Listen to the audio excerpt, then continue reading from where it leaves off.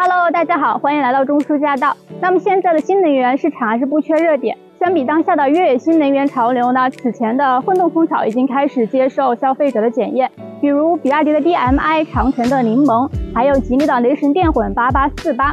那么拥有悠久造车历史的江淮呢，也是在今年四月份的时候带来了旗下的首款插混车型江淮 QX PHEV。那么这款车呢，已经在此前的成都车展开启了盲定，据悉呢会在九月份的时候正式上市。虽然江淮汽车啊入局插混市场的时间不算早，但是呢也有一句老话说得好，好饭不怕晚。那么作为江淮汽车全面转型电气化的一款重磅车型呢，它将会给我们带来怎样的驾驶感受呢？走。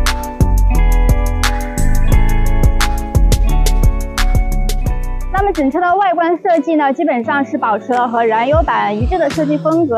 呃，首先呢，它是换装了全新的江淮的品牌 logo，然后呢，它是采用了流行的分体式大灯。现在看一下它这个围绕快大半个车头的贯穿式 LED 灯带啊。它就有效的拉伸了前脸的横向视觉。那么下面呢，它进气格栅做的比较大，两边的大灯尺寸呢也比较可观。然后搭配起来的话呢，就会让整个前脸显得比较大气。它搭载的是比亚迪同款的 DMI 插混系统，那么主要是由1.5升的发动机和电机组成的。其中电动机的最大功率呢可以做到150千瓦，然后整车它的零百加速能够做到7.3秒。那么它的电池容量呢是21.6千瓦，是有快充、慢充两种方式。续航这方面。的话呢，CLTC 的纯电电续航啊是可以做到一百二十公里，综合续航呢有一千三百公里，那么也是比较符合当下的主流水准的。然后用车成本这一块呢，它的百公里亏电油耗呢是能够做到五点三七升的，可以有效的帮我们控制日常的用车成本。那么它侧面呢是采用了分段式的腰线设计，会让它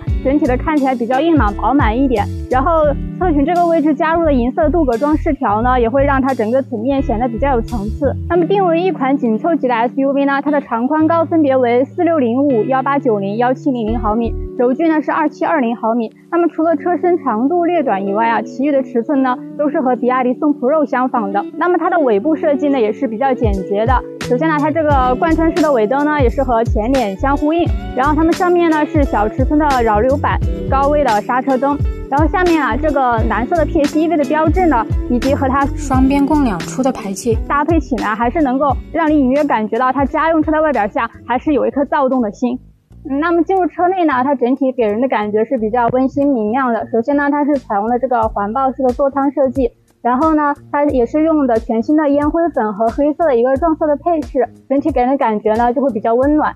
大面积的皮质包裹呢，也是带来了不错的档次感。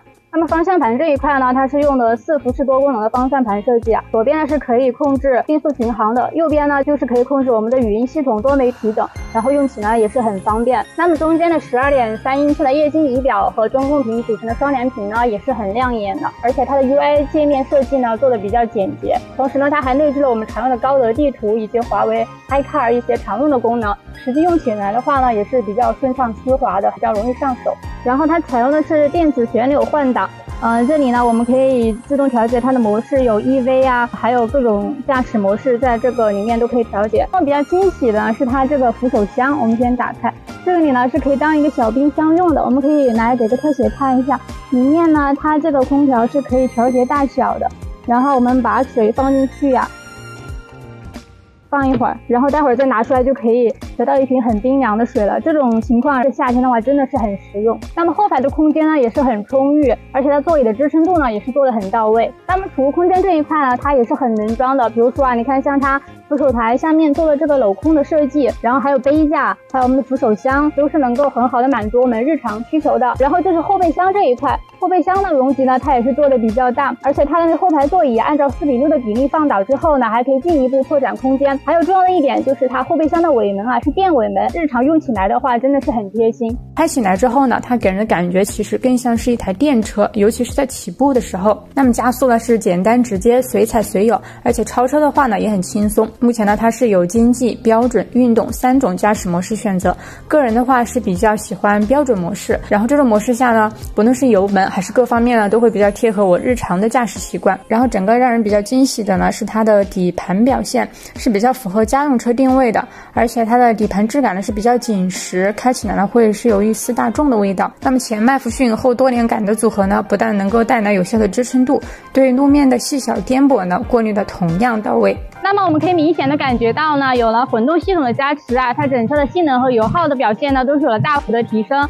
而且呢，整车在智能化设计还有空间各方面的表现呢，也是可圈可点的。它未来呢，如果能够延续江淮的优良传统，带来一个合理的定价，那么对于消费者来说呢，都是一个不错的新选择。那么今天的节目就到这里了，咱们下次再见，拜拜。